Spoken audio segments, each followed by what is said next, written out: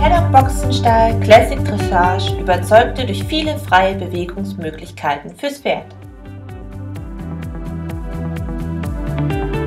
In Oberfranken, in Tierstein hier, das ist ein bisschen eine abgelegene Gegend. Ähm, aber hier ist der, der Reitstall Ende 2014 Classic Dressage eröffnet worden. Auf dem Betrieb fühlen sich Pferd, Mensch und Hund wohl.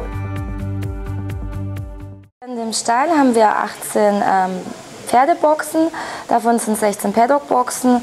Pferde sind bei uns den ganzen Tag draußen, also auch äh, im Winter. Also wir haben die Koppeln alle so befestigt, dass alle Pferde immer draußen sein können. Die kriegen bei uns sechsmal Heu.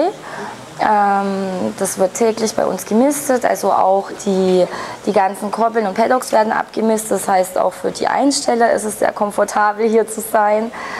Ähm, ansonsten haben wir einen 20 auf 40 ähm, Reitplatz, eine Reithalle 20 auf 40, beides mit Apple-Flutsystem.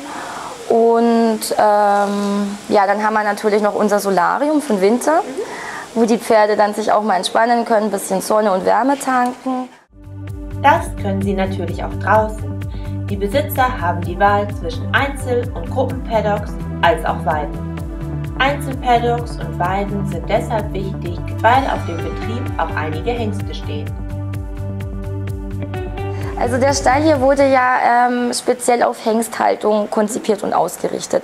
Ähm, das ähm, sieht man in, in, verschiedenen Dingen, zum Beispiel, dass wir sehr viele Ein- und Ausgänge haben, sodass der Hengst nie an der Stute vorbei muss, man dem Ganzen so ein bisschen aus dem Weg gehen kann. Ja. Von der Stallgasse aus geht es direkt in die Schmuckereithalle, zum beheizten Deckentrocknungsraum und zur Gerätekammer, wo Cavalettis und Stangen auf ihren Einsatz warten.